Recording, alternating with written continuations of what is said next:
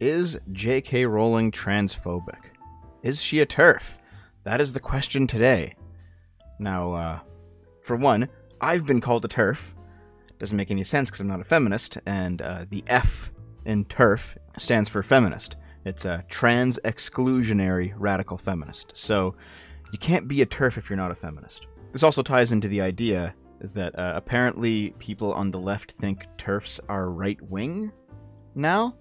I don't know about that. The TERF ideology grew out of people like Valerie Solanas and Andrea Dworkin, though she would go back and forth on that topic over the course of her career. A book that I had to read when learning about all this stuff in university was The House That Jill Built a lesbian nation in formation. And that book basically described the ideological split that began within the second wave of feminism, where some women believed that trans women were in fact women and deserved a place at the feminist table, while other women believed that trans women were simply male infiltrators into female only spaces. With the Lesbian Organization of Toronto in 1978 putting out a statement saying, a woman's voice was almost never heard as a woman's voice. It was always filtered through men's voices. So here a guy comes along saying, I'm going to be a girl now and speak for girls. And we thought, no, you're not. A person cannot just join the oppressed. And it's not like their ideas aren't internally consistent. When your entire philosophy, when the source of your activism comes from the idea that women are biologically distinct from men, and that they therefore have different concerns, different needs, they face different oppressions, I can definitely see why, through that lens, you would exclude male infiltrators. But that's obviously not the whole story, is it? Because if you believe that trans women are women, then they do have a place. They're a different type of women, obviously. I don't think anybody who has their head on straight can say that cis women and trans women are the same type of woman. There's very clearly something different there but I think any reasonable person can see that they are part of a, a broader feminine coalition. So, J.K. Rowling, then. I mean, she's older, isn't she? Do you think she can be grandmothered in? You know how you always have, like, that one older relative who, you know, just doesn't quite get it? But you just let them be because, you know, within five to ten years, they're going to be, like, either dead or irrelevant, so it's like, whatever. How old is J.K. Rowling? Oh, she's 55. That's. Uh, that's not that old, is it? Damn. I thought she was older than that. This is not a story that I've commented on on my channel, uh, even though it's been developing over the years, because frankly I don't know too much about it, so let's kind of explore it together, okay? From what I can tell, the J.K. Rowling transphobia thing started a few years ago with this tweet. Dress however you please, call yourself whatever you like, sleep with any consenting adult who will have you, live your best life in peace and security but force women out of their jobs for stating that sex is real. Hashtag I stand with Maya, hashtag this is not a drill. Now, on the face of it, to me, this seems like a completely reasonable tweet, doesn't it? Dress however you please. Of course, that's personal freedom. Call yourself whatever you like. Of course, that's personal freedom. Sleep with any consenting adult who will have you. I obviously do not want any kind of non straight sexuality to be banned.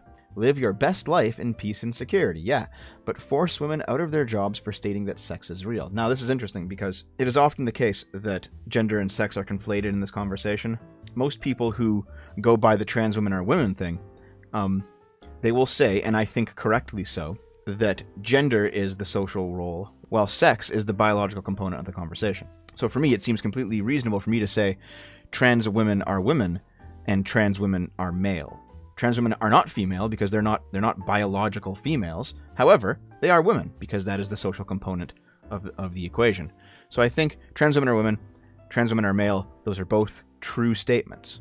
And I am personally happy to use like Lilith's pronouns when I'm talking to her or something like that. Not because I actually believe she's a biological female. She's not, and she's even said that she isn't. But because I'm being polite, because I respect her as a person because she's my friend. And just as I wouldn't shit talk a friend behind their backs, I wouldn't do that to Lilith either. But on this on the face of it, this this seems okay. I guess uh, Mark Hamill liked it. Was that a thing? All right. Apparently, what J.K. Rowling was referring to was this individual, Maya Forstater. She lost her job after saying that people cannot change their biological sex, and she brought that to a tribunal, and then she lost that tribunal uh, last December. However, check this out. A woman who lost her job after saying that people cannot change their biological sex has lost an employment tribunal. Wasn't that the case? Like, that was just literally the linguistic sleight of hand that I was talking about a few minutes ago. People can't change their biological sex. They can change their gender. They can have various cosmetic surgeries if, if they want, but you know they, they can't change their biological sex.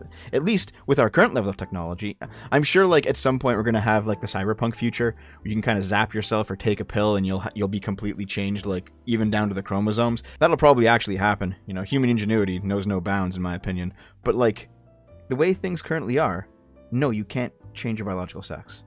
I don't think that's controversial to say Maya Forstater did not have her contract renewed after posting a series of tweets questioning government plans to let people declare their own gender. Well, this is different from biological sex. Like, it. Look at this. Look at this. It's completely different. I really think that like people who report on this, they conflate the terms to make things seem more sensationalist than they actually are. Miss Forstater believes that trans women holding certificates that recognize their transgender identity cannot describe themselves as women but that view is not worthy of respect in a democratic society, a judge said.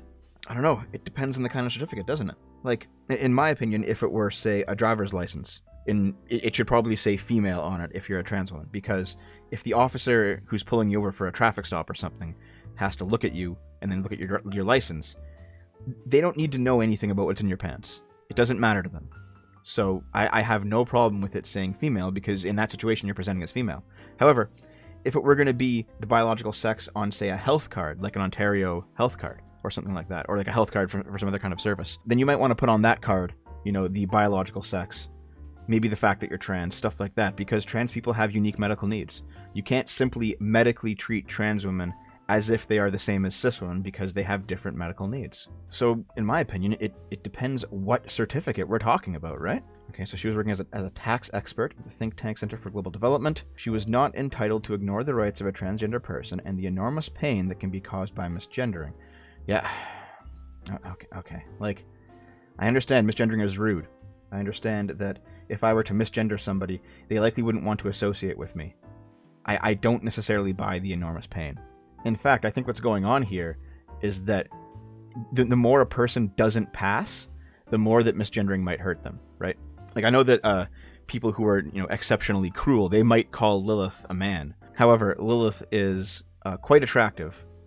She passes quite well, and I think she just laughs it off because she knows that she passes quite well. But what was the actual event? Like, did she refuse to use a pronoun? Like, like I, I want to find it here. Hold on. It doesn't really say, does it? Maybe maybe it's in the judgment. Let's see. The claimant stated that she first became concerned about proposed changes to the Gender Recognition Act because of proposals for a move to permitting people to self identify their gender. The claimant started to research the subject in 2017 to 2018 and began to tweet about it in August of 2018.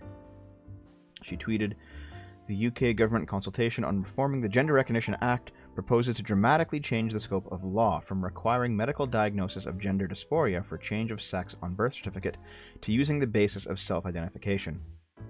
I don't know about this if this is the case, I can't I can't select it. If this is the case here, I definitely think that a medical diagnosis of gender dysphoria is probably a better barometer than simply self-identification.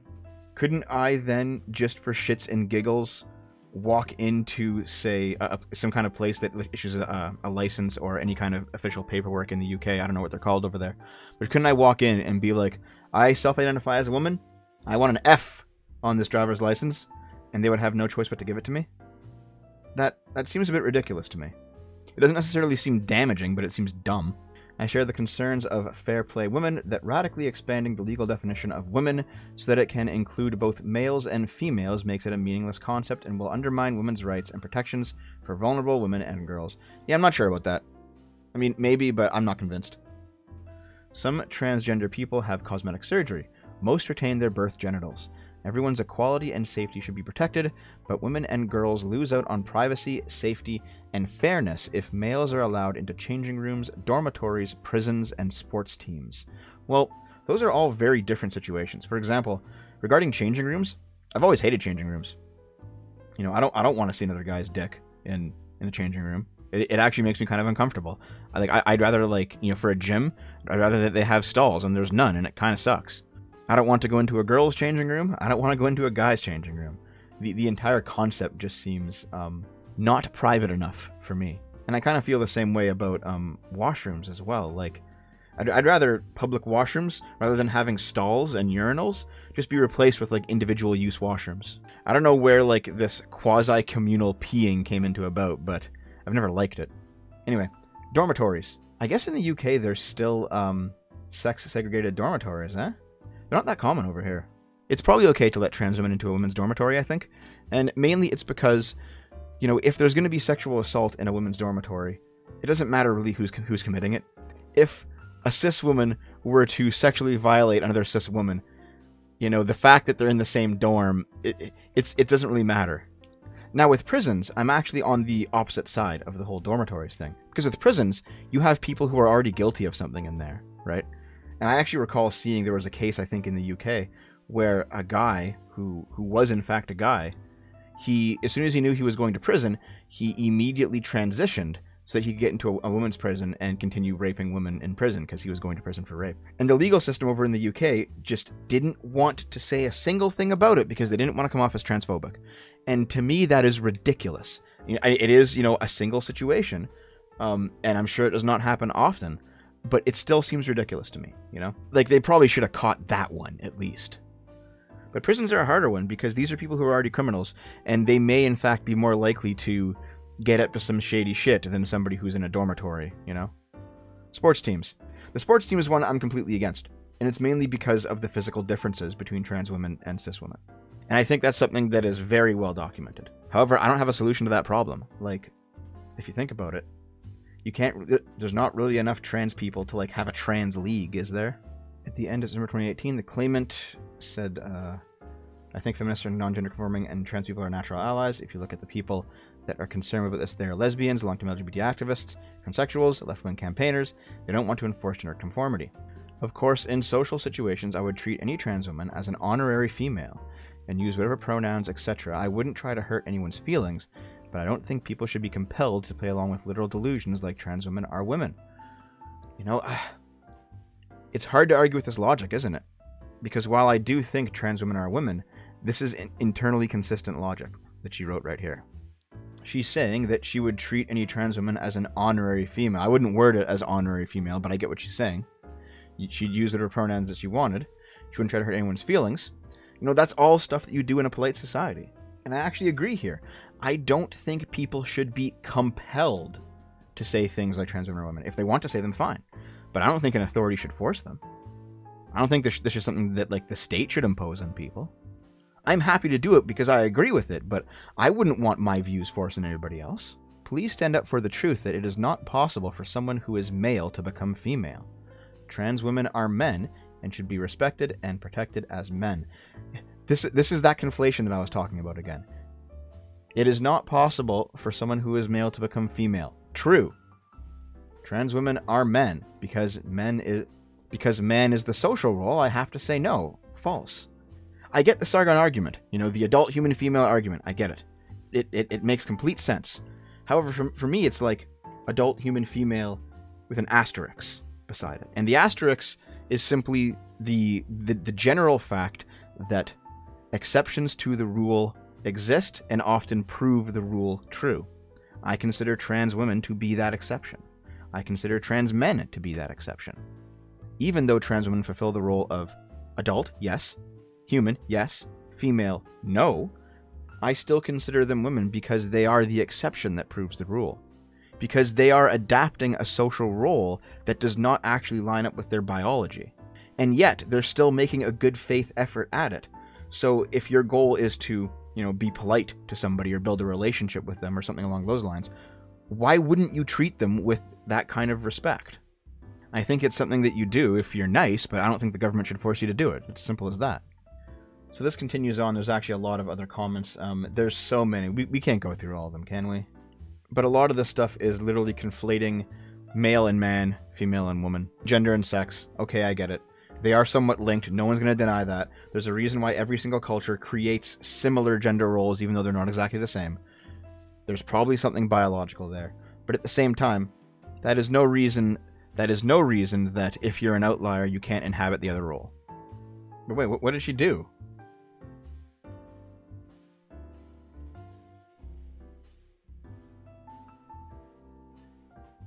It doesn't really say. W- was she literally just fired over tweets? Hold on. Okay, here we go. I think I finally found it in The Guardian. Maya Forstater's case was about protected beliefs, not trans rights. She will use somebody's preferred pronouns out of politeness, but, but doesn't feel bound to because she fundamentally doesn't accept that a man can properly become a woman.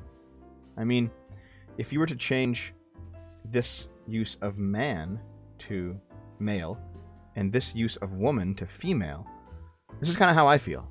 I use somebody's preferred pronouns out of politeness, but I don't feel bound to because I fundamentally don't accept that a male can properly become a female. Yes, that is pretty much my position. Because, one, I don't feel bound to do anything. No authority will tell me what to say. I will say whatever the fuck I want. Anyone or anything that would enforce compelled speech on anybody is inherently tyrannical. Doesn't matter what the speech is. Secondly, and more importantly, I don't think the government should be able to enforce politeness, and I think it would be disastrous for you to actually attempt so. I use Lilith's pronouns because I'm polite. I consider her to be a woman because I'm polite, in the exact same way that I consider my cis girlfriend to be a woman, because I'm polite. There are many instances where people who are specifically being rude, maybe because they're an asshole, maybe because they have a grievance, you know, who knows, but they will approach somebody who is obviously a cis woman but looks very masculine and will treat them like a man because they're being a dick. That is not being polite, but it shouldn't be illegal. And in the same way, I consider Lilith a woman because I'm being polite. And politeness is all you need. The state doesn't need to step in. Jesus Christ, this video is turning into like my trans rant, so maybe I should just get on with it. Okay, she lost an employment tribunal case, which, had she won it, have allowed her to take legal action against a global development think tank that did not renew her contract after she started posting views some staff found offensive on Twitter. Well, it's not really getting fired, is it? Like, not renewing a contract is not the same thing as losing your job. Like, if they just said, oh, we're going to fire you now, I think that'd be outrageous. It would be over the line. But they just said, we're just not going to hire you back. Like, that's reasonable. People can hire, people can not renew contracts for any fucking reason they want. Once the contract's over, the relationship is done. Okay, that was a fucking rabbit hole. But J.K. Rowling came out in defense of this person. It seems like she did so out of ignorance because the way that she framed her tweet was that she thought the person was getting fired, but they weren't. They were just not having their contract renewed. Does that tweet make J.K. Rowling transphobic? It probably just makes her ignorant. I don't think it makes her transphobic. As far as I can tell, that was only one data point in a series of data points and somebody compiled all the instances of J.K. Rowling's transphobia. So let's at least give him a skim, eh? Let's go down here. The Maya Forrester legal case. All right, so we've seen that. Let's see the rest of them. Support for Magdalen Berns. Magdalen was a great believer in the importance of biological sex and didn't believe lesbians should be called bigots for not dating trans women with penises. Um, none of this is arguable. If you if you're a lesbian and you don't want to date a trans woman with a penis. It's not bigotry, it's just preference. Holy Christ. Every single trans person I know and interact with agrees with me on this, and I'm very publicly. Yeah, see, I've, uh, maybe things have changed over the years, but I have met a number of, of trans individuals on Twitter who are completely insane, and they're like, no, you're a bigot. And it's like, no, dude, no. The reason J.K. Rowling received such a backlash for supporting Magdalen Berns wasn't because she believed in sex or because she observed how sexuality works. It was because of Berns' very openly transphobic, antagonistic, and often conspiratorial views on trans people. Okay, let's see these views. You are fucking blackface actors. You aren't women. You're men who get sexual kicks from being treated like women. Oh. I think you're like confusing trans woman with like a sissy hypno or something. Magdalen, I don't know if you know what's going on. Holy fuck. Like, the second one, George Soros, the money behind the trans. This is nothing, alright? George Soros is literally the prince of fucking darkness, so whatever. I'm sure he has, he, ha- he has his fingers in many a pie. But this, wow. Our oppression isn't a fetish, you pathetic sick fuck. Jesus Christ. Yeah, no, I, I would, I would actually classify this as, as some transphobia here, dude. TERF. Um, everything in this in this passage, like J.K. Rowling's quotes, they seem to be stupid. Biology. As someone who is an avid lover of biology, I find the, the gender critical ignorance of biology and their blind faith in it that agrees with everything they already think very frustrating. All right, all right, okay. Clownfish, one of the many animals that changes sex in the wild. Uh, okay, yeah, yeah, fine, you know, but we are not clownfish, we're humans. It's a little bit different.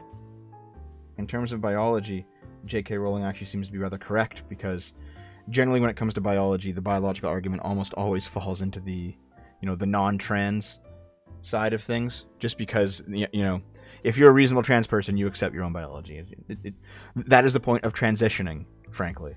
Education and safeguarding. The second reason is that i'm an ex-teacher and the founder of a children's charity which gives me an interest in both education and safeguarding. Like many others i have deep concerns about the effect trans rights movement is having on both. Okay so what, what is that effect this person grew up in the era of section 28 horrible and oppressive law that made it illegal for schools to even acknowledge that lgbt people ex- existed Okay. And I agree, actually, yeah. Teaching kids, but, well, maybe not kids, you know. Over here, uh, sex ed, when I was younger, started at, I think, grade 5 or grade 6, which would have been 10 or 11? Maybe 12? I think that, that's a reasonable age to start it. You know, it, it probably shouldn't be a kindergarten thing. Um, there is no problem with teaching kids of that proper age that LGBT people exist. It is part of the human sexual experience. You shouldn't be teaching it to kindergarteners, but you should be teaching it to people who are like 10 or 11 or 12. Fine. Freedom of speech. Trans people are finally, for the first time in centuries, being allowed to speak freely about what and who they are. Freedom of speech is what has allowed us to gain rights at all. I 100% agree, which is probably why we shouldn't be curtailing freedom of speech for those individuals who disagree with you. And I'm saying that as somebody who agrees with you generally. If some asshole wants to misgender you and treat you like shit because you're trans, well, that's their right, and you have the right to tell them to fuck off and not associate with them. I don't think the state should be coming down on anybody one way or the other. And no, saying that transphobes have free speech too, and they should be able to exercise it as long as they're not actually, you know, attacking somebody else or inciting violence, um, that's not debating your existence. I, I really hate the existence argument that comes out of the trans lobby because that generally is not what's going on. If I'm a dick and I refuse to use your pronouns, that's not me debating your existence. You very clearly are still there. You're not going to Thanos snap away if I use the wrong pronoun. That's just me being a dick. Holy fuck, is J.K. Rowling like threatening somebody over a tweet? Like, fucking hell, dude. I'm gonna sue you because you shitposted on the internet.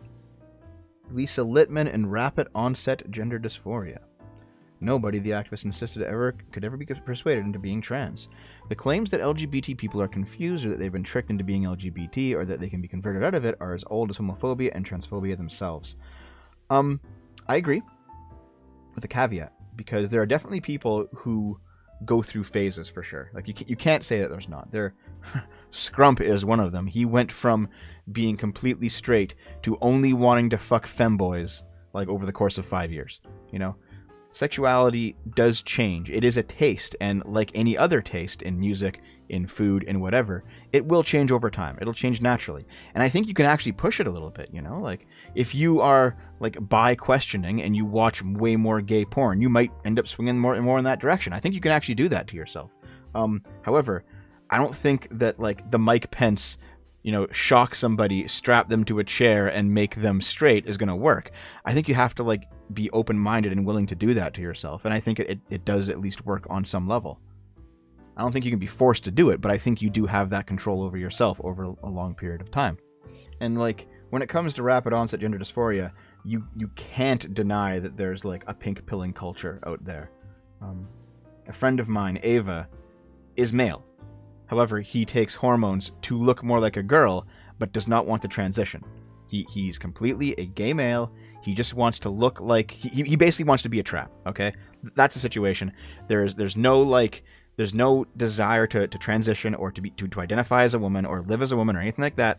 They simply want to be a really really girly looking gay male. And Ava looks more like a woman than a lot of people that I know, but he's still male, and that's the point. And he experienced this from what he's told me that there are definitely people who who went to him and said, "Hey, you need a transition," and he's like, "No, I don't. I'll just take estrogen, but be a man." And they're like, "No, you're offensive to us." So like, you you can't deny that there's like not like a pink pillar, or I think, I think people call it like egg culture. Yeah, yeah, yeah. Egg. Egg is a name for a trans person who is in total denial of being trans. They are most of the time questioning their gender identity, actually, or just trying to figure out what the heck is going on in their life. Where Joe says, Wow, I really want a skirt that goes spinny. And then Bob says, What? Joe says, Oh, um, I'm still cis. Bob says, Are you an egg? Joe says, What? No, of course not. And it ends with Joe is definitely an egg. Now, the whole point of, of the egg idea is that if you if you question your gender at all, and I think everyone has, like everyone thinks, hey, I wonder, you know, what, what it would be like to be to like wake up for a day and like be the opposite sex, you know? Hmm. That doesn't make you trans. It just means that you have an inquisitive mind. But the trans egg people, which there is like a weird subculture that I've begun to delve into, maybe I'll do a video on it because it's kind of fucked. But they basically take anybody who questions gender at all, anybody who might cross dress, and even though they're, they're sure they're not trans, and they say, no, you're an egg, and it's our responsibility to hatch you into a trans person. And they kind of like, they, they like push them into it. And it's like, fucking hell, man. This is insane. This is some nutty shit. So I do think that what J.K. Rowling's talking about here is a real phenomenon. It might not be that common. It might not even necessarily be something that we have to do anything about, other than simply be more willing to tell people to fuck off if you have to. Desistance, detransition, and if I were a kid today, I would have been transed. I mean, there, there's a lot of stories of like trans people who detransitioned. They were like, yeah, I was just a gay man, and I kind of got pushed into this by those around me. Yeah, I do think this happens. I don't think it's common, and I don't think it invalidates the experiences of actual trans people, but you can't say it doesn't. You can't fucking say it doesn't. I'm also aware through extensive research that studies have consistently shown that between 60 to 90% of gender dysphoric teens will grow to their dysphoria. And this person even admits some studies do show that prepubescent children showing signs of gender dysphoria will likely grow out of it. They also show that if gender dysphoria persists into adolescence, then it is almost certainly permanent. This is why when I was doing that um, that podcast with Lilith, I was saying, listen, maybe 16 is like the right age where you can start transitioning. You know, legally before that, it's a little bit muddy. You know, probably not because you don't know. But 16, it's like, okay, if you're still trans by 16, it's like, okay, here, here we go. Let's do it. And this person even says, like, yeah, you, you know, uh, someone who's eight or nine saying that I'm a girl when they're actually a guy, like, they might grow out of it. And you know what? Nothing wrong with that. There's nothing wrong with with someone you know questioning and then growing out of it and then being cis. And just like there's nothing wrong with someone being trans, it's all fine. Misogyny in women as a political class. From the leader of the free world's long history of sexual assault accusations and his proud boast of grabbing them by the pussy, to the incel movement, to trans activists who declare that TERFs need punching and re educating, men across the political spectrum seem to agree women are asking for trouble. Yeah, I. Even if I were to characterize all of this as being the truth, and I think each one of these instances is significantly more complicated than how J.K. Rowling's portraying here, um, no, I, I don't think that the trans activist declaring that TERFs need punching is in quite the same boat. Because these are nominally right wing violence, while this is left wing violence. It does not come from the same source, it does not have the same philosophical underpinning. You can't call them the same thing. I it does feel like she's just throwing trans activists under the bus just because it suits her political purpose in this paragraph, so I don't know about this one, dude. Trans women think being a woman is a costume, but as many women have said before me, woman is not a costume. Woman is not an idea in a man's head. Woman is not a pink brain, a liking for Jimmy Choo's, or what's a Jimmy Choo? Or any of the other sexist ideas that now somehow touted as progressive. Holy fuck. This is a bit much for me, dude. Domestic abuse and sexual assault. All right, and I'm sure you know at this point. Uh, if you don't, I guess I'll just tell you that J.K. Rowling was in fact assaulted by her first uh, her first husband. If you can come inside my head and understand what I feel when I read about a trans woman dying at the hands of a violent man, you'd find solidarity and kinship. I have a visceral sense of the terror in which these trans women will have spent their last seconds on Earth, because I too have known moments of blind fear when I realized that the only thing keeping me alive was the shaky self restraint of my attacker.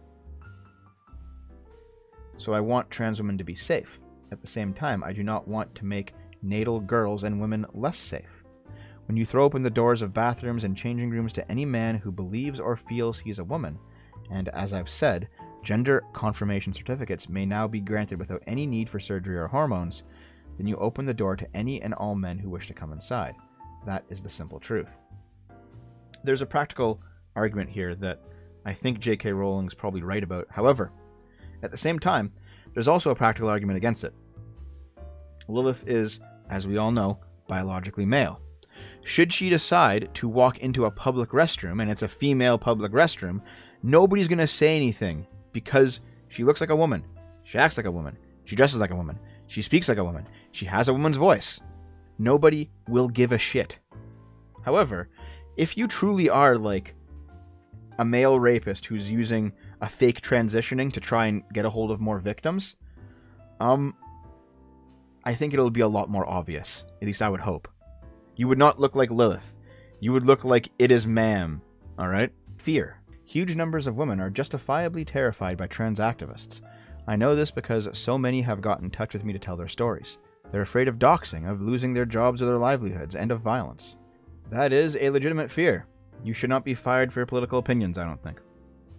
Of course, the counter to this in this article is in 11 countries it is against the law and punishable by the death penalty to be a trans person.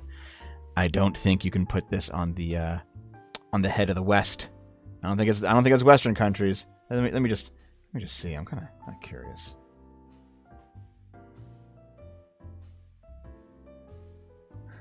Ah, yes, all Middle Eastern and African shitholes, dude. Totally bastions of liberal capitalism and human rights. Yeah, yeah, it's the West's fault that this is the case. In the USA, in 43 states, it is still considered a valid legal defense to murder a trans person if you found yourself attracted to them. Yeah, that, that's that's pretty fucked, in my opinion. That's that's pretty fucked. A lot of this stuff is pretty fucked. But you know what? This is like oppression Olympics. You know, this is straight up whataboutism.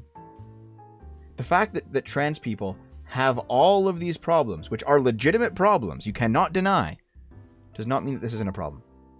They both are, of course. So that seems to be the list of data points for J.K. Rowling being a transphobe. And I think it's about half of them that I, that I think I side with. Like, like the Maya Forstater legal case. Uh, kinda, like half. Support from Magdalen Berns, yes. TERF, yes. Biology, no. Education and safeguarding, yes. Freedom of speech, no. Rapid onset gender dysphoria, no. If I were a kid, I would have been trans today, no. Misogyny in women as a political class, yes. Trans people think being women is a costume. Yes. Domestic abuse and sexual assault. Half and half. Trans women in women's bathrooms. Yes. And fear. Half and half.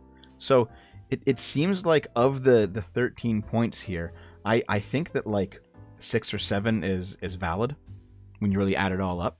Of course, there's the whole guilt by association thing where J.K. Rowling follows people who are a lot more mask off in their transphobia. She's liked tweets that call trans women men in dresses. Uh, she claimed it on a middle aged moment. All right. She posted this and then deleted it, claiming that she was just copying somebody else's words. I love this truly fabulous Ickabog with its bat ears, mismatched eyes, and terrifying bloodstained teeth. In court, Wolf claimed the Facebook post, which he had said he wanted to fuck up some TERFs, was just bravado. Um, weird. Um, but fine. I guess it was. You're saying it's somebody else's words, and you you didn't know. Uh, all right. More recently, you've got people who menstruate. I'm sure there used to be a word for those people. Someone help me out. Wumbin, wimpund, woomud. Yeah, I get the point, but I just say female, dude. When when women stop menstruating at menopause, they're still considered women, right? So this this this doesn't make sense. And of course, most recently of all, you have the new J.K. Rowling book that came out, where apparently there's some kind of um, murderer, and what he does is he dresses up as women in order to disguise himself while he's committing his crimes. And people are saying that that is transphobic, even though the person who's committing the crimes is a cis man. He's he's not a trans man. He's not a trans woman. He's not anything like that. It's just that he dresses up as a woman to hide the fact that he's committing these crimes, and he uses it to like get into certain spaces and this and that. And because that's not trans, it's not even cross-dressing. In fact, it's literally just a guy wearing a disguise to commit a crime. I don't see how that can be transphobia. However, if you put it into the larger context of some of the things that J.K. Rowling has said, I can see why some people are taking it that way. To me personally, it's just really incredible to think about because 20 years ago, it was the right wing of politics that was burning J.K. Rowling's books. They were saying that they were possessed by the devil and it was Satan worship and black magic and all this nonsense. But now it's the left doing it. I, I remember a time when the left were, were like very pro Harry Potter. You know, you, you saw at a lot of like left wing protests in the mid 2010s, people holding up like signs saying that uh, Trump was Voldemort and all this nonsense. But now you have the left doing the very same things that they decried the right for doing, you know, 20 years ago. Damn, getting old is weird. But okay. The final verdict on the question is J.K. Rowling a transphobe? And as far as I can tell, I mean, maybe? Like, she hasn't gone full mask off. She hasn't said, I hate trans people. She hasn't, you know, actively advocated against trans rights specifically. She's advocated for a separation between cis women and trans women in the political sphere, which in practice might actually erode some trans rights. I'm not sure. But even though she hasn't gone mask off, there's still, like, enough data points where the mask slips a little bit that there actually might be some transphobia in there. I wouldn't be surprised. And here's what I compare the situation to. We all knew a long time ago that Richard Spencer was straight up a white supremacist. He very rarely outright said it. He was always, you know, very kind and very debonair, and he always posited his claims and his views as being not anti black, but just pro white. We all kind of got that feeling from him. We didn't really have any concrete proof. The mask hadn't really slipped that often, but we're like, hold on, no, this guy is not what he's saying. This this guy is something else, and we all knew it. And then you know, a few years later, after the downfall of Richard Spencer, um, we got that absolutely hilarious, ridiculous recording where Richard Spencer in private is like ranting and raving about octoroons and all of this like legitimately hateful, racist shit. And the reason it was so funny is because it was finally mask off. It was finally a direct confirmation of what we all knew. Now, we didn't need that confirmation to understand beforehand that Richard Spencer was probably just a big fucking racist. We already understood that. The confirmation was just icing on the cake. So I guess my answer to the question is Is J.K. Rowling a mask off transphobe? No. However, if in 10 or 20 years a recording comes out of J.K. Rowling in private ranting and raving about trans women and how much she hates them and thinks that they're like oppressing cis women and abusing them and doing all this crazy shit. If that recording came out, I would not be surprised in the fucking least.